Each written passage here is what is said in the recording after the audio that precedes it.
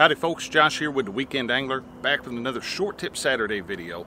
And guys, behind me is Project Drift Sock, our 14 foot jon boat project we completed a couple of years ago. And unfortunately, Project Drift Sock has a big, big, big problem. Project Drift Sock's taking on water. Let's find out where it's coming from. I'll show you how to find it.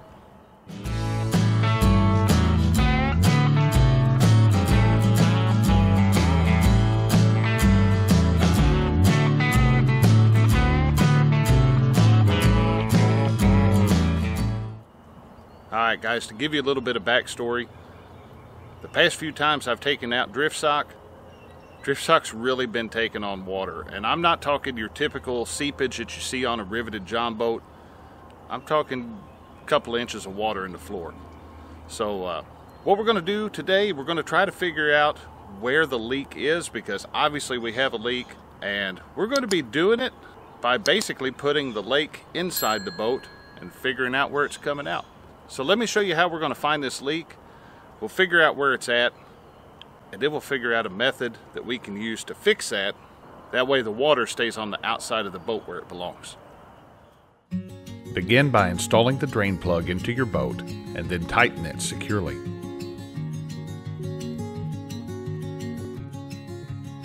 With the boat fairly level on the trailer, begin filling the boat with water. Note, water weighs around 8 pounds per gallon, be careful not to overload your trailer. You don't have to fill the boat completely to the top with water.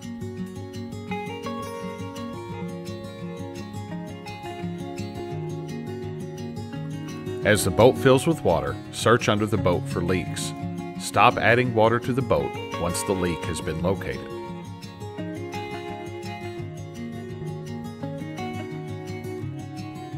If a leak is discovered, mark its general location using a Sharpie or other waterproof marker.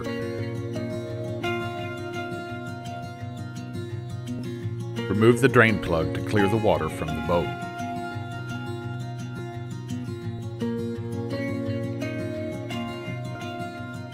Flip the boat upside down. If it's too heavy, get a friend to help you.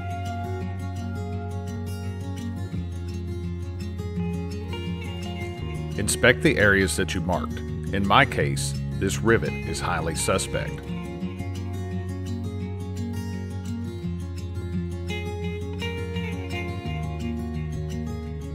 Use a wire brush to remove the paint from the suspect area. This will help you find the actual cause of the leak.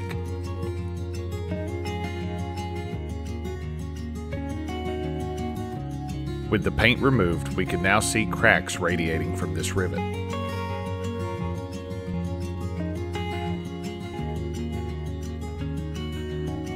Use brake clean or rubbing alcohol to clean the area of dirt and debris.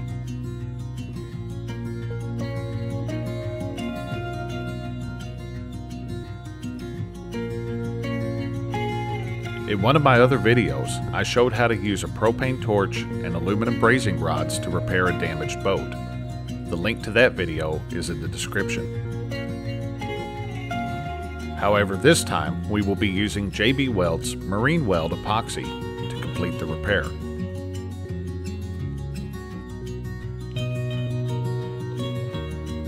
Start off by applying equal amounts of resin and hardener to a suitable mixing surface.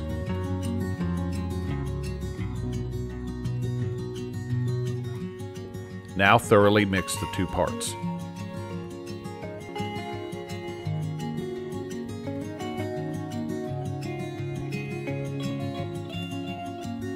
Use a putty knife to press the epoxy into place over the damaged area.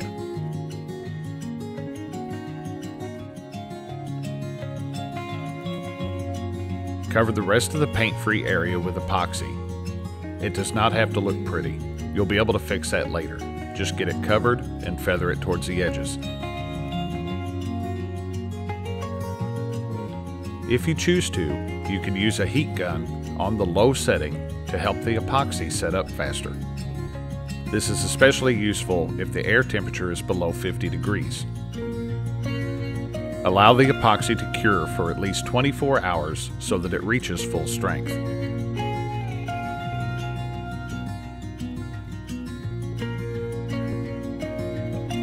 Though not necessary, you can sand the epoxy once it is cured and paint it to match the boat.